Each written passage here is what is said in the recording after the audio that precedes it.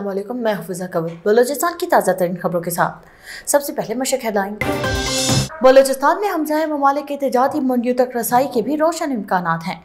Governor Balochistan का इजहार ख्याल हुकूमत अपोजिशन जमातों को धरना खत्म करने पर आमादा न कर सकी। कोयटा में हुकूमती अहदों में अहम पेश रफ्त सूबाई हुकूमत सूबे की तरक्की, तामीर और तरबियत के लिए अमली इकदाम करने पर यकीन रखती है।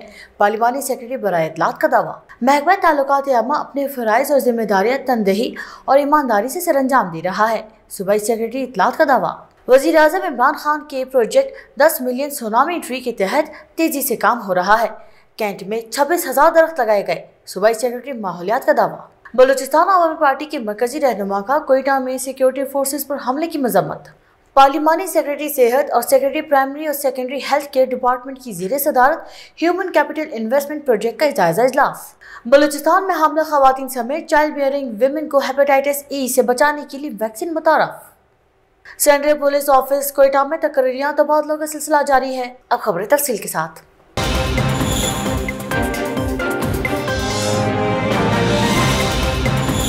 गवर्नर बलोचिस्तान अमानुल्ला यासिन जई ने कहा है कि बलोचिस्तान अपने पहले वकू के एतबार से खसूसी अहमियत का हामिल सूबा है।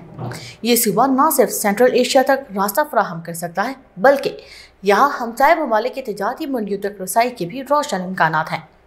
लिहाजा ज़रूरी है कि तमाम सरमाकार यहाँ पर मौजूद सरमाकारी के मुनाफा बख्श मौक़ों से भरपूर इस्ता करें।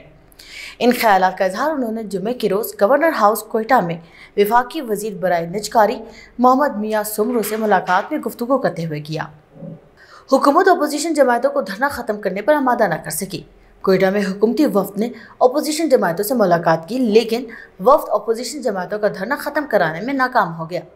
जराए के मुताबिक deputy speaker Balochistan assembly Sardar Babar Musakhel सूबाई वज़ीर मीर जहूर अहमद बलेदी अवामी नेशनल पार्टी के पार्लिमानी लीडर असगर खान अचकजई ने जमीतलमा इस्लाम के सूबाई अमीर रुकन कौमी असम्बली मौलाना अब्दुल वासी से उनकी रिहाइश गाह पर मुलाकात की इस मौके पर बी एन पी के कायम मकाम सदर मलिक अब्दुल वली रुकन सूबाई हुकूमती वफद की जानब से अपोजिशन जमातों के अरकान के बिजली रोड थाने में एहतजाज और हुकूमत अपोजिशन के दरमियान पाई जाने वाली तलखियों को ख़त्म करने के हवाले से तबादला ख्याल किया गया। पार्लिमानी सेक्रेटरी बर इतलात मोहतमा बुशारे ने कहा है कि सूबाई हुकूमत सूबे की तरक्की, तामीर और तरबियत के लिए अमनी इकदाम करने पर यकीन रखती है।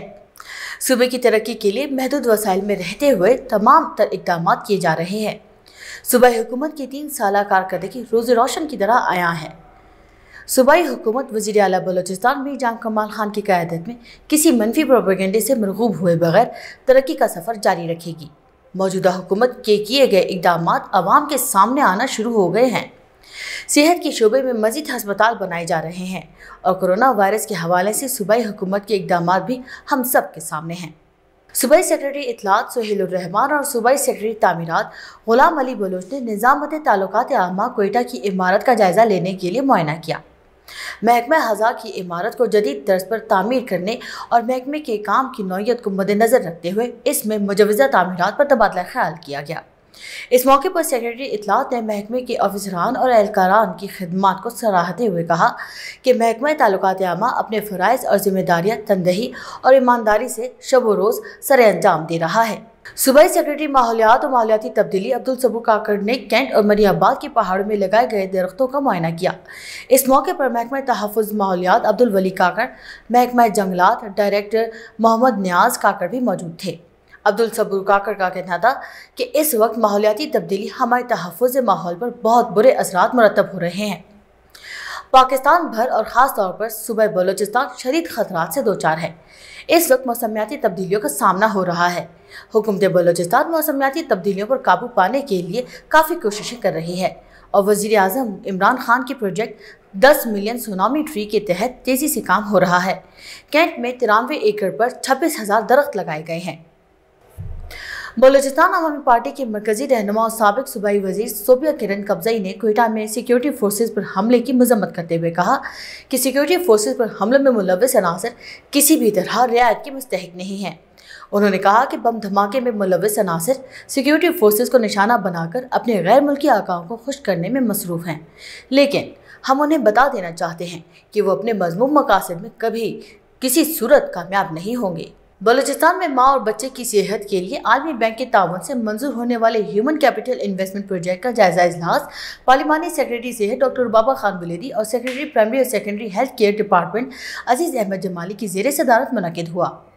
इजलास में project director doctor Amin Khan Mandokhel ने मनसूबे की पेशरफ पर तफसीली रोशनी डालते हुए बताया कि मनसूबे पर अमल दरामद के लिए आलमी कमिटमेंट के मुताबिक इब्तदाई इकदाम को हतमी शक्ल दे दी गई है।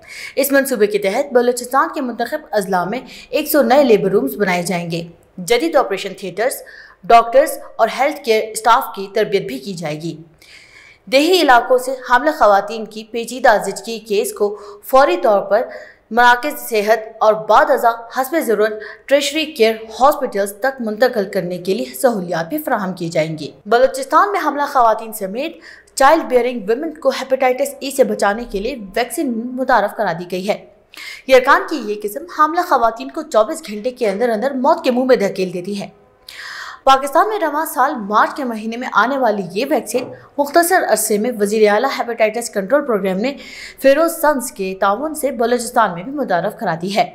हेपेटाइटिस ई वायरस और इससे वाबस्ता खतरा की आगाही से मुतलिक वजी अला हेपेटाइटिस कंट्रोल प्रोग्राम के ताउन से साइंटिफिक सेपोजियम कोयटा के मकामी होटल में मुनद हुआ, जिसके मेहमान खास सेक्रेटरी, प्राइमरी और secondary health care department Aziz Ahmed Jamali थे। जबकि इस प्रोग्राम में पाकिस्तान के मुमताज़ माहिर अमराज, जिगर executive director Pakistan medical research council वज़ीर अजम हेपेटाइटिस कंट्रोल प्रोग्राम के focal person doctor Huma Qureshi और दीगर ने शिरकत की। सेंट्रल पुलिस ऑफ़िस कोयटा के एलामिया के मुताबिक मोहम्मद जाफ़र एस पी किला अब्दुल्ला का तबादला करके उन्हें central police office Quetta, Bahram Khan को एस पी केच नजीबुल्ला पंद्रानी एस पी केच का तबादला करके उन्हें central police office Quetta Iftar Ahmad S S P Jafarabad का तबादला करके एस पी बी मॉनिटरिंग और सरदार हसन खान मूसा खेल एस पी बी मॉनिटरिंग का तबादला करके एस एस पी जाफराबाद तैनात कर दिया गया है। अब तक के लिए इतना ही। मजीद खबरों और अपडेट्स के लिए विज़िट कीजिए हमारी वेबसाइट डब्ल्यू